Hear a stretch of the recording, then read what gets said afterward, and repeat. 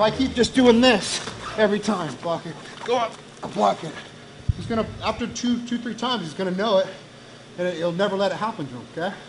So what I wanna do is, I wanna attack the top and then the bottom, top, and I basically make him make the mistake.